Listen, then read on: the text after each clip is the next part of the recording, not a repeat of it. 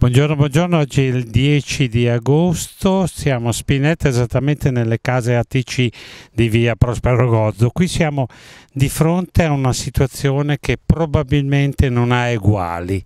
Non ha uguali perché noi abbiamo visitato una serie di altre residenze ATC, ma in un degrado così diffuso e così continuato e stratificato perché qui ci sono delle stratificazioni, perché io lo posso anche testimoniare visto che la terza o la quarta volta che vengo ed è una situazione così, è sempre andata crescendo. Quindi la, eh, la cosa deve essere presa in mano anche solo dal punto di vista igienico e dell'abitabilità. Noi abbiamo visto anche dei,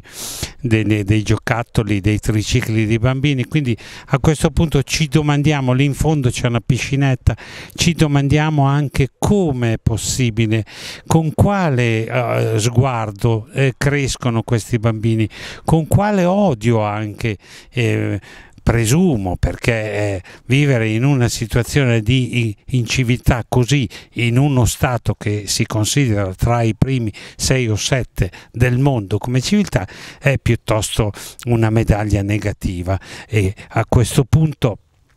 cosa dobbiamo dire? Guardate, guarda, le immagini sono, sono, di per sé esemplificative, ci, ci è cresciuta sopra l'erba, quindi significa proprio che, ecco lì c'è un banchetto, c'è un banchetto probabilmente eh, di, di, qualche scolaretto, lì dietro sepolta c'è una macchina, vedete lo sportellone,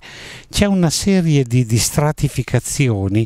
che comunque denunciano proprio l'abitudine e eh, l'abbandono in qualche modo, perché, eh, perché perché se sono qui evidentemente qualcuno non le ha portate via o non, non, sono state messe nel posto giusto, ma a questo punto, visto che le segnalazioni sono, sono continue, visto che comunque il luogo è un luogo diciamo eh,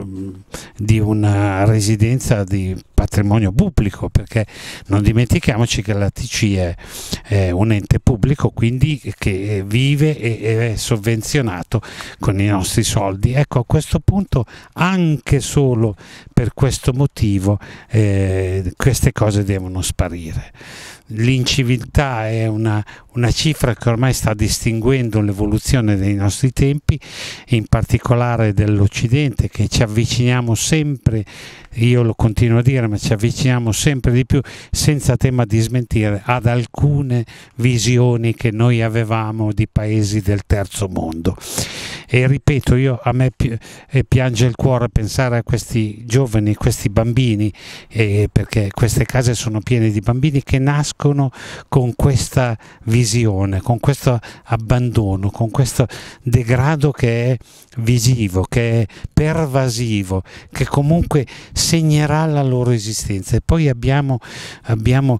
possibile rivolte come succedono nei paesi del nord Europa di questi ragazzi della seconda terza generazione perché probabilmente vivono in situazioni di questo genere, di banlieue, di degrado, di abbandono e loro sentono estranei a questa civiltà, questa cultura perché li lascia in queste condizioni. Io dico che ci vuole uno sforzo economico, ci vuole uno sforzo anche educativo, formativo, ma bisogna insistere. Io non vorrei ritornare qui fra tre, due, tre, sei mesi, eh, due, tre anni e trovare una situazione ancora, ancora più degradata, perché significa aver alzato bandiera bianca. Vedete, proprio c'è di tutto, eh, dalle gomme alla, alla colonna di un bagno, compensati, divani, residui di olio, scarti domestici, c'è proprio di tutto, zaini. Una cosa impressionante, io non ho mai visto una cosa così. Va bene, arrivederci a tutti.